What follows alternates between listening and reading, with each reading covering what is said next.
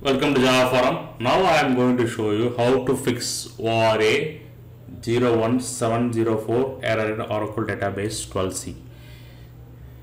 So I have logged into the SQL Plus editor as a common user called C hash hash which I already created. So make sure that you have enough permission to uh, execute the SQL queries. Okay.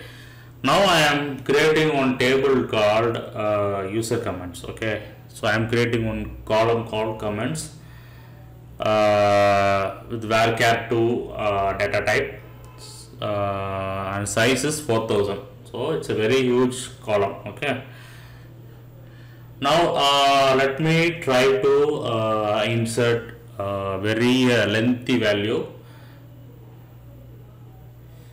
so let me copy this okay let me copy this and uh, paste it in the SQL plus editor okay so here you can see that uh, error is thrown ORA 01704 string literal too long.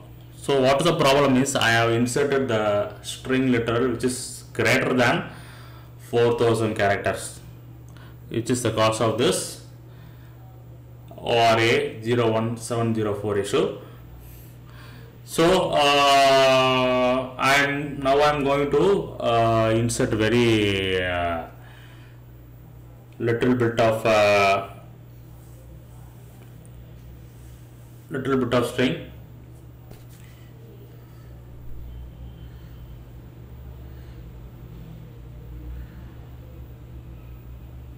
So make sure that uh, string literal uh, does not crosses the size of 4000 which will cause this ORA 01704 string literal too long error.